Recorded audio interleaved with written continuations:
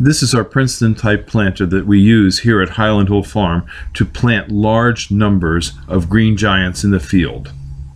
This is the shoe of the planter, the part of the, the planter that actually goes into ground and plants the tree. We plant them in straight rows. We, we put about a hundred per row. In this video, you'll see how we slam these babies into the ground. They have to be put in hard to get them in. Boom, goes right in if you slam it in and it's easy to do. We can do approximately 1,500 of these bad boys in one day with this machine. This machine is available for lease if you need to borrow one when you buy trees and shrubs from us. You would just need a tractor to run it, a 35 to 40 horsepower or larger tractor. With this machine, we can easily plant these three gallon pots.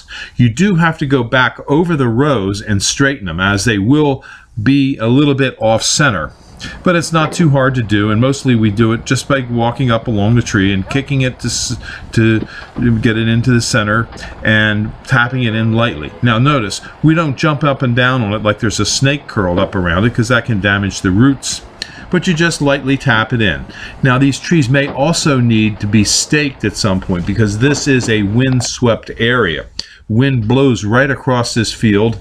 And as you can see the housing development in the background it's quite a large open field. We have in this field approximately 22 acres of green giants growing. So we will have plenty of them for you. Don't worry. Call us for your green giant arborvitaes. This video is brought to you by Highland Hill Farm. We grow and sell screening and buffering trees for privacy and sound barriers